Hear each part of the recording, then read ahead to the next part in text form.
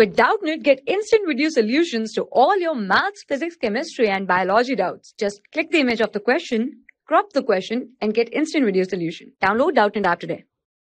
Hi, so let's start the question. The question says a freely falling body traveled x meter in n second. Distance traveled in n minus 1 second is, we are given four different options, x, x plus g, x minus g and 2x plus 3g.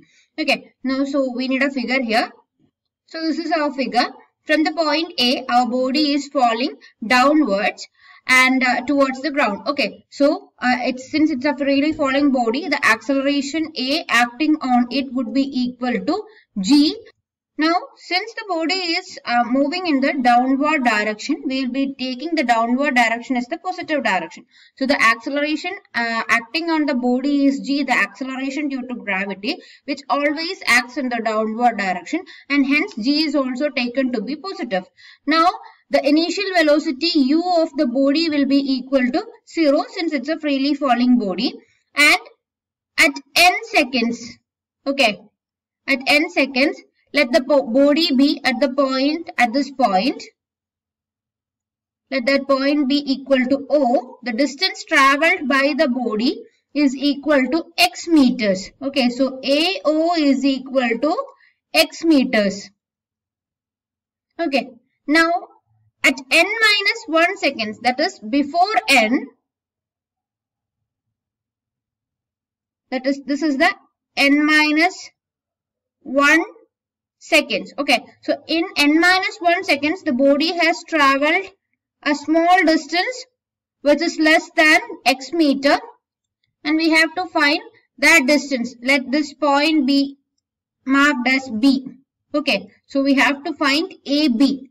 Now, the distance traveled in n second for a uniformly accelerated body is given by Sn is equal to u plus a into n minus half. Okay, where u is the uh, initial velocity, a is the acceleration, n is the second at which the uh, distance has to be found out. So here it is given to us that in the nth second the body travels x meters. So Sn is equal to u is 0, the acceleration a is equal to g, g into n minus half is equal to x. Okay.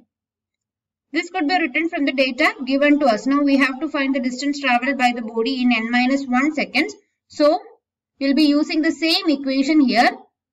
So s n minus 1 equals g into, instead of n, we'll be substituting n minus 1.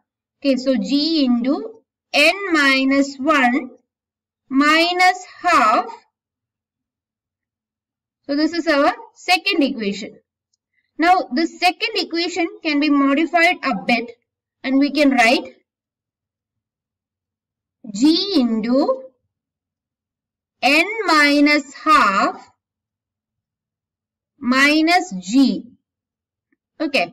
So, we have taken n minus half as one term and minus 1 as another term and then multiplied the two different terms with g. Okay. So, g into n minus half is equal to x. That is written in our first equation. So, we can substitute x for g into n minus half. So, x minus g.